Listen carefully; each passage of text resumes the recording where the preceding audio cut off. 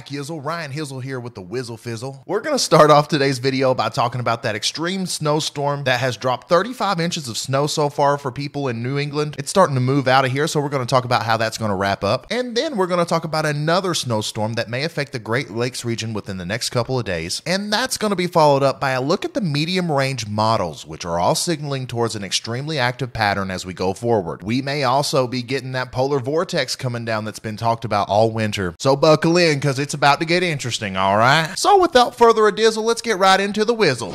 All right, like I said, we're going to start up here in New England talking about our massive snowstorm that just went through. It's still chugging along up here in Augusta, Maine. A lot of southwestern Maine is getting heavy snow right now. Check these out. These are some heavy snow bands moving into Lewiston, going over I-95 right now. We do have that pesky rain snow line here on the coast, but a lot of places north of the coast are getting snow, and that's what was expected. We have lingering snow showers all the way through Vermont, New Hampshire, upstate New York. Syracuse is getting a pretty good snow band right now, but some of the hardest hit areas down here in southern New York, Long Island, northern New Jersey, Connecticut, Rhode Island, and Massachusetts are finally starting to see a break. These are the areas that just got absolutely, literally buried in snow. I told you I was coming. New York City, Snowtown. Allentown, Pennsylvania is Snowtown and a half, and it's still snowing here in Allentown. Check this out. We're going to have backside snow showers, everything from flurries to heavy snow bands all day from Allentown all the way to Toms River, New Jersey, and some places in this region may end up with 40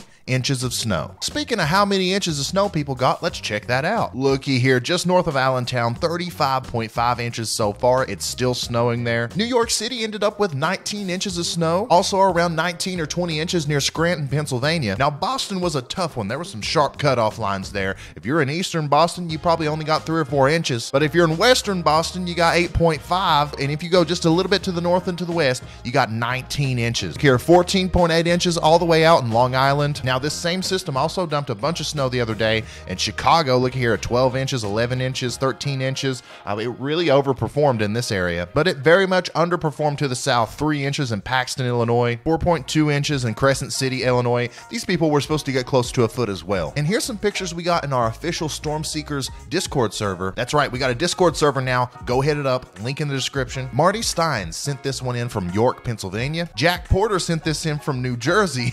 And Lord have mercy, look at that, son. We also got some cool stuff on Twitter. Michael from Wayne County, Pennsylvania has a beautiful video of some snowfall. And check out this picture of New York. They got about 20 inches of snow and it just looks beautiful in Central Park. And here's another picture from Randolph, New Jersey. Oh my God, look at that. Wouldn't you, don't you guys want to see that? Wouldn't you like to look out your door and see that? Well, there may be a chance for some of us because I'm telling you guys, that weather pattern is just now starting to crank up. We're all about to be in Snowtown, baby. Snizzle, tizzle, bizzle. Nah, I'm gonna stop that now.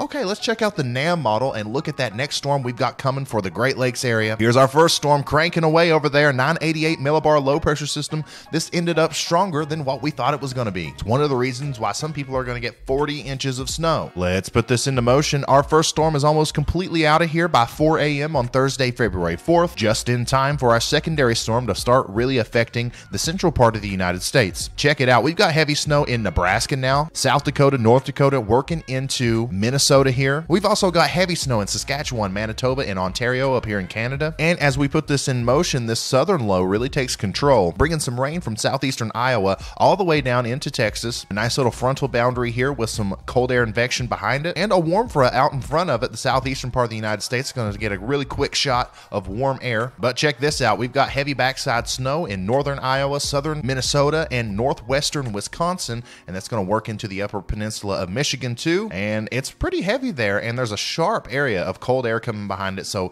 that switch over, if you're starting off as rain down here, it's that switch over is going to be really quick. Here's that low pressure system, a 988 millibar, 984 now, as it's just to the north and west of Chicago, bringing heavy rain to the southeast and heavy snow to Michigan now. The upper peninsula of Michigan is getting absolutely clobbered at 1 a.m. on February 5th by heavy snow, and then that moves on to the north with maybe a very marginal risk of some severe weather weather down here in Dixie Alley, and it's trying to start off as snow up here in the northeast in Pennsylvania, upstate New York, and of course with that sharp cold front, we've got backside snows trying to work into Tennessee, Kentucky, Ohio, and Indiana. We can push this on a little bit further and watch this. This low kind of stalls out here, so the upper peninsula of Michigan is going to get a lot of snow from this more than likely, and it tries to snow pretty heavily in eastern Pennsylvania, northeastern Pennsylvania, and upstate New York, and that's going to move into Vermont and Maine, and that's as far as the NAM goes. Here's a look at those snowfall totals. Two to four inches is possible in Nebraska, two to four inches across much of Iowa, with a little area here that could see six inches or more.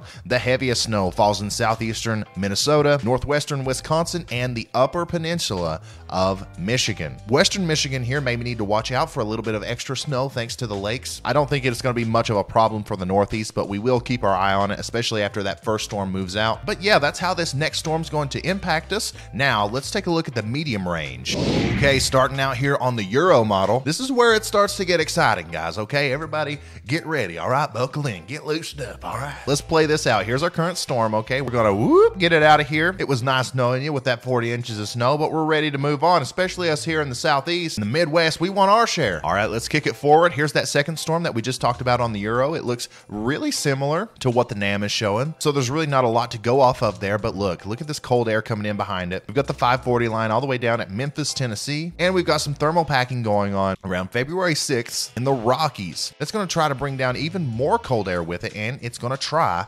to link up with a disturbance down here in the Gulf of Mexico.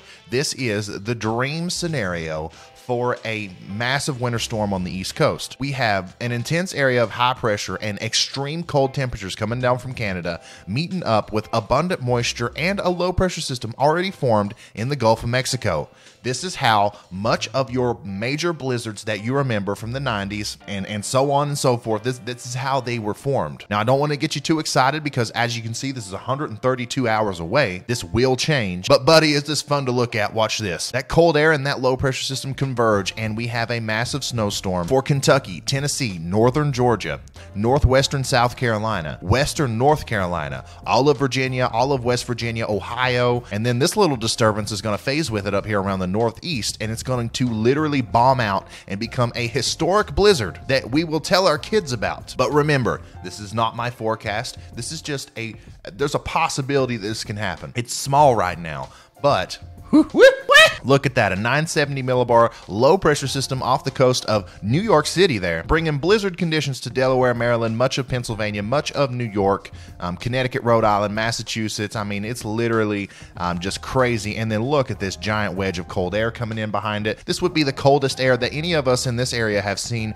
probably since 2017 or 2018. And we have a massive storm structure here that stretches all the way back into Canada and all the way down to Mexico. And then if I play that, and then and then if I play that out, watch it just winds up 968 millibars. That's the lowest it gets, and then that goes on out, and we're still stuck with our major cold air over here in the Great Lakes region. And then what's this? Another storm, February 9th. Okay, this is a this is showing another storm trying to cause some major snow for Oklahoma, Arkansas, Missouri, Tennessee. Once again, northern Alabama, northern Jersey, Kentucky, West Virginia, Ohio. I mean, like this right here would be another one uh, that would be, uh, you know, probably a very memorable storm not necessarily a blizzard, uh, but definitely bringing some uh, major snowfall totals to a lot of people in the south that don't usually get it. And then that is the last frame of the Euro Wow, what a Euro run, huh? Let's take a look at those temperatures as they come down. Uh, check this out, wow. On February 8th at 7 a.m., we've got negative 30 degrees in northern Minnesota. We're near zero degrees all the way in northern Georgia. Single digit temps for everybody up here in the Northeast and the Ohio Valley. Iowa's getting in on that negative 20 degree stuff. As low as 15 degrees in northern Florida. Closer to 10 degrees right here near Mobile, Alabama. Just some absolutely incredible stuff going on on the Euro. And of course, if we look at those total snowfall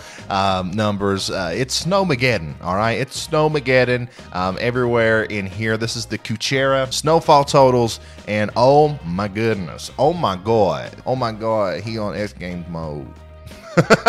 buddy, if I've ever told you to take a screenshot of something, this is the one you need to take a screenshot of. Save it. Um, it almost certainly will not come out um, like this. But remember, the storm that we're talking about right now the one that's dropping 40 inches in New Jersey. We were talking about that one about a week and a half ago, saying like, ah, that probably won't happen. So there's a chance. And the Northeast gets clobbered. Uh, some of the areas that are seeing 40 inches of snow right now here in eastern Pennsylvania and northwestern New Jersey. Uh, how would you like to see 45 more inches of snow? Another two feet in New York City. And uh, yeah, yeah. Now, once again, an absolutely insane system showing up on the 12Z Euro, but that's the Euro. I have some bad news. The rest of the models don't agree yet.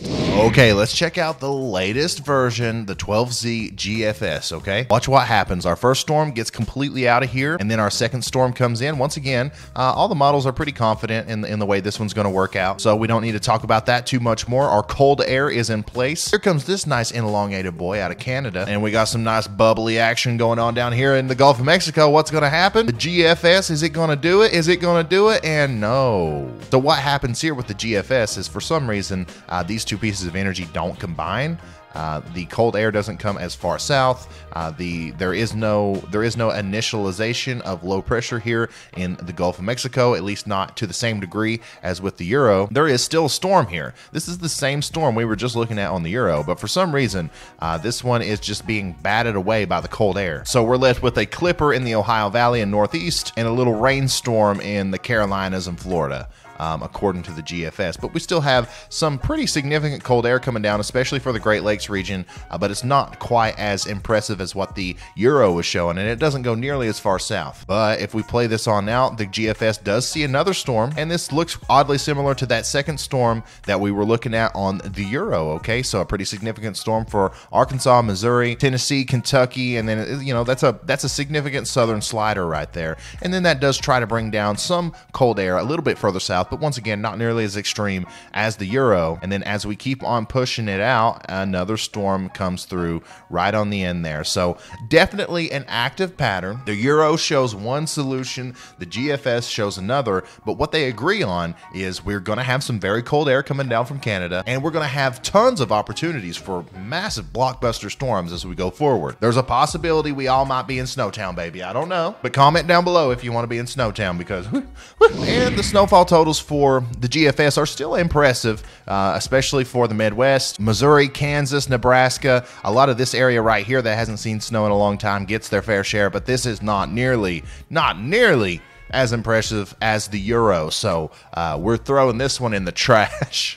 all right, guys, that's all the weather talk I have for you today. I hope you enjoyed this video. I hope that you are excited about the opportunities to come, but I hope you are not too excited because there's still a lot of time between now and those major snowstorms that we could possibly have. What I'm showing you is just model guidance. It's probably not going to happen exactly the way that we just saw it. In fact, it's definitely not going to happen the way we just saw it. But we have something to track. We have something to keep our eyes on, and that's the fun. You know, that's what this channel's for. We're having fun. If you're having fun, make sure you slap a like on this video, okay? I really appreciate it. Subscribe if you haven't already, and make sure you join this channel. I've opened up memberships on this channel, and we already have like 50 members. If you're a member, you get access to all kinds of cool stuff, and we have our own exclusive little chat area in the Discord server, and you can use these awesome emojis that I worked really hard on. So consider joining. There's a link in the description, and also there should be a button next to the subscribe button that you can click, all right? Also, my storm chasing truck wrap is almost finished in the design phase. Here's what it looks like. Let me know what you think about it down in the comments. And I'm gonna skedazzle now. We'll see you next tizzle. Get bizzle. Whoop!